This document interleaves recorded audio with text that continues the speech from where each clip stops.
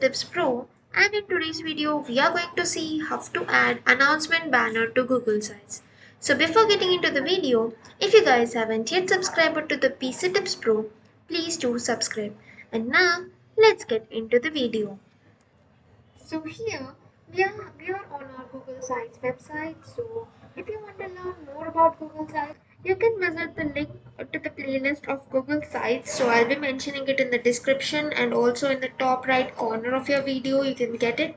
So now uh, if you want to provide some announcement bar on your website, let's say you are having some e-commerce website and you want to provide a 50% offer on all the products or on some category of products. So anything can be the announcement that you want your visitors to know about. Like whenever the visitor visits your website, you want some announcement that your visitors should be noticing about. So you can just create that by going to the settings part and click on the announcement banner. Click on show banner and you can just choose the banner color which you want. So let's say I just choose some of this color. And you can just say message that uh 50 percent off on all products for today or like till some time we can say. So till 28 feb so we can just give some button label that is should be uh, something like short now.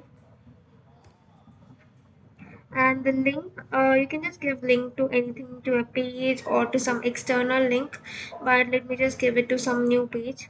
And I just wanted to open in the new tab because uh, my website remains open uh, on this current, current page.